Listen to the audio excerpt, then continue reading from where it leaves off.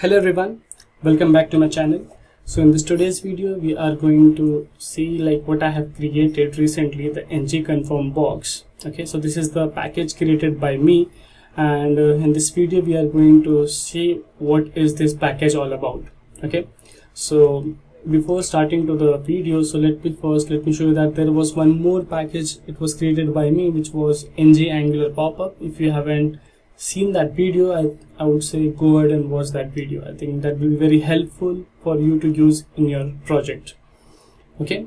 So before again starting to the like the installation things how we can install and set up all all these things but let's first see what was the problem which I faced because of which I had to create this ng confirm box.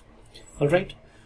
Okay so if you see this is uh, just a small application a quiz application of the admin section. So here we have like some quiz list in your in, inside the table okay?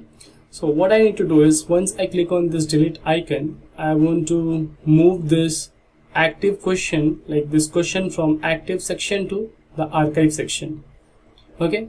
So if you see the behavior at the moment if I click on this delete it directly send it to the archive section which is which is not good correct? Because um, like if the user can accidentally click on this so it, it is not asking for any confirmation. So which is bad right? Like I think that is bad. I'm not sure about this but yeah. So for that I think there should be something to be created okay?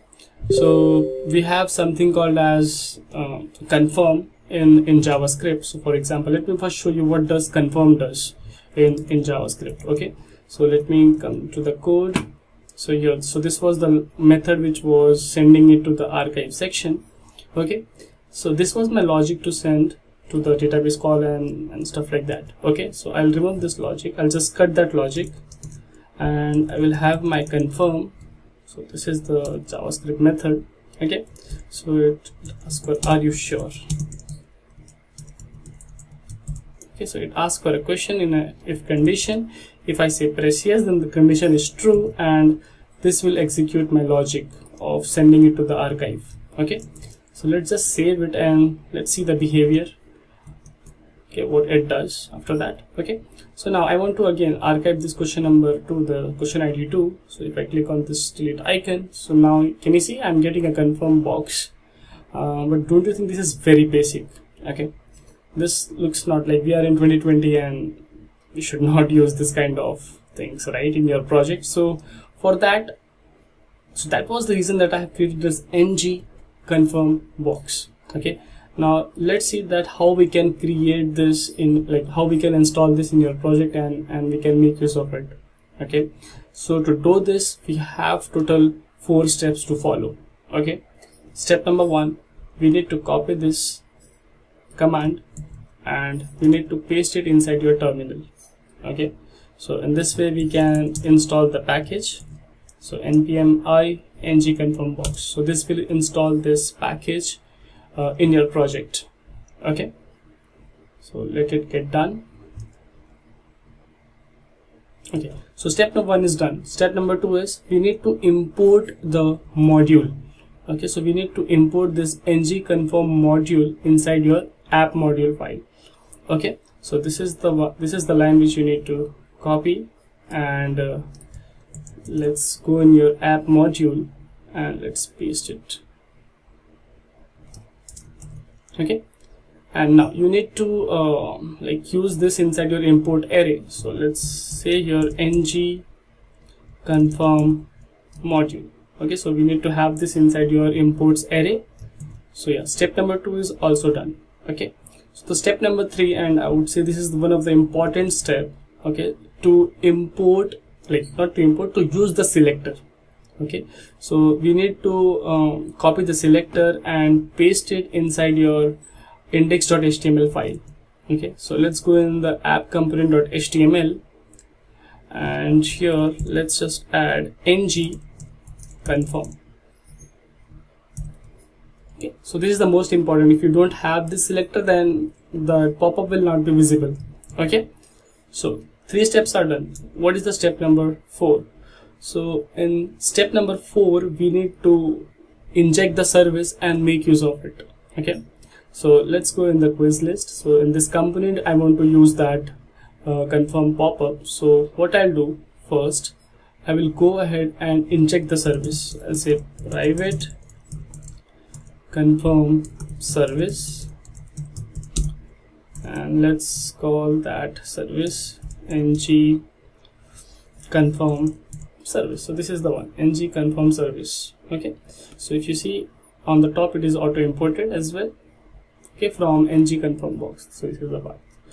All right. So now let's use this ng confirm service. So wherever we had that uh, the javascript confirm. So let's remove this if condition it's no more needed.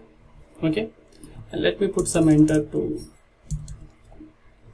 to let you know what I will be doing next. So we just need to say this dot confirm service dot. So there is an option called as show confirm.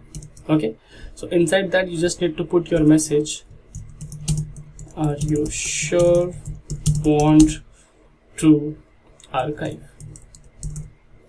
Okay? The question mark okay? So if the user press yes so we need to put two functions there.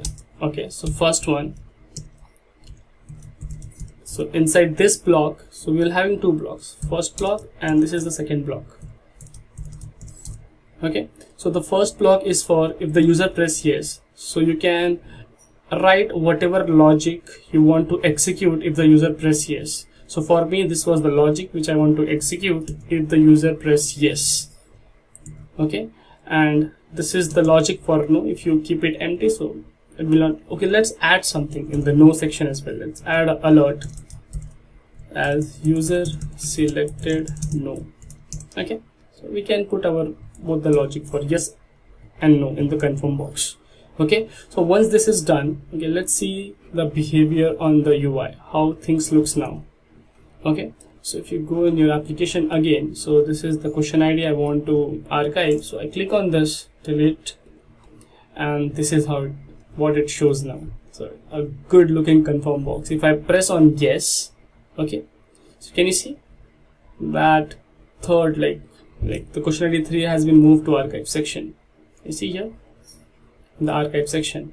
And if you press no suppose if I again accidentally clicked on this delete and I don't want to send it to archive. I can click and no okay and you can see the alert has been triggered. That user selected no and it's still here in this section. All right?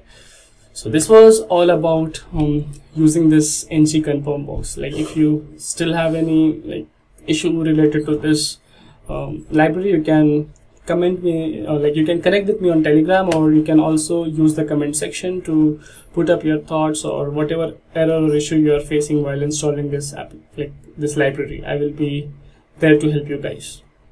Okay? Okay then. Till that time bye bye and keep learning guys